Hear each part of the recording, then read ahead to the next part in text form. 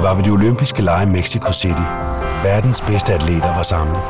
Blandt dem en ung amerikansk højdespringer ved navn Dick Fosbury. På den tid kendte man kun til væltespringen. Så det var en måbende verden, der så til, da Fosbury sluttede sit tilløb med at vende ryggen til overlæggeren og springe ind i historiebøgerne som olympisk guldvinder. Der er med andre ord gevinst ved at tænke nyt. Det gælder også i forbindelse med formuepleje, investeringer og pension.